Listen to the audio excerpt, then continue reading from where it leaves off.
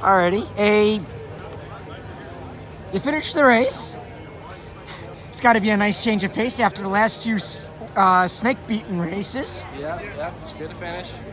Um, you had really good clean racing with Landon Pembelton there. Uh, for his series debut, I was impressed at how clean the two of you were. Uh, how how much fun was that battling for third place there for countless laps? Yeah, man, it was fun. He was he was good on the bottom, and I was good on the top. So uh, we were just like one tick less than even. He was just just a little bit better than I was. Um, but it was fun. It, was it was good racing clean.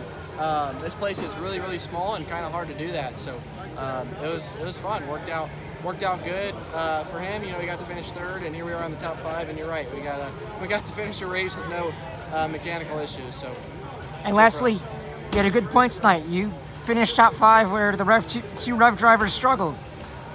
That's got to be a you're back probably single digits within a championship battle with these two guys heading into Mid Ohio. Yeah, uh, definitely. I think within single digits. I think it was 11 back to. Uh, to, to Nick. So uh, entering tonight, yes, you are correct. So and then Rajah was one behind him. So we got two on Rajah now, um, and then probably what four or five to Nick. So um, yeah, it's good. I'm excited for Mid Ohio. Got a little bit of road course racing under my belt at Portland.